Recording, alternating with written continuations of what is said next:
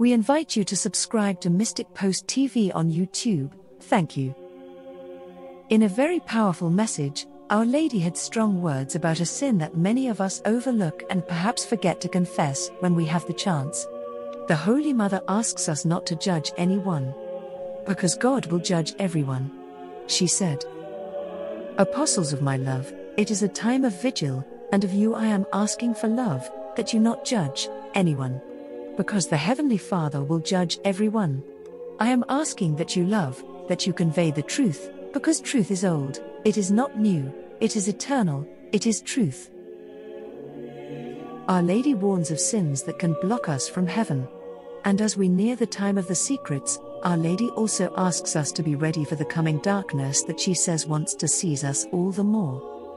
In Mirjana's book My Heart Will Triumph, she dramatically writes, Now is the time to tell the world my story. These are very powerful words, precise words, particularly when you consider that Mirjana knows the exact date when the secrets are to begin to unfold. Mirjana also talks about the importance of the day March 18th. She says only when the things contained in the secrets start to happen will the world understand why Our Lady chose March 18th. Why every second of the month, why Wednesdays and Fridays are days of fasting, everything will be clear. The significance of the date will be clear.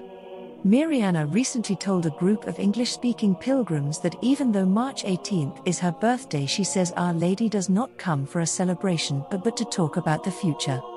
Great people were born on the 18th of March. But I never have my birthday because that is the day of the apparition. And many people have the wrong opinion about it. They feel that Our Lady comes to me on the 18th of March because it is my birthday. She doesn't come for sure for that reason because she never said to me happy birthday. When everything starts happening, then you will be able to understand. In her book, Mirjana had a few other things to say about the secrets. She said, I cannot divulge much about the secrets, but I can say this Our Lady is planning on changing the world. She did not come to announce our destruction, she came to save us, and with her Son she will triumph over evil. If our Mother has promised to defeat evil, then what do we have to fear? In Mirjana's last second of the month apparition, which was in 2020, our Holy Mother spoke of a coming darkness and warned that it will seize many of us. Apostles of my love, you who sincerely and with a pure heart strive to follow my Son, you who sincerely love him, you help, be an example to those who have not yet come to know the love of my Son.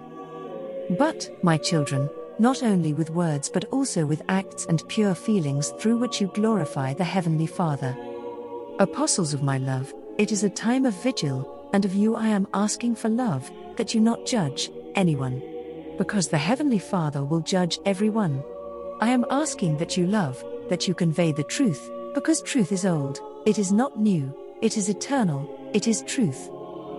It testifies to God's eternity. Bring the light of my Son and keep breaking the darkness which all the more wants to seize you. Do not be afraid. Through the grace and the love of my Son, I am with you.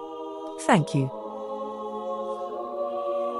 Thank you for watching Mystic Post TV.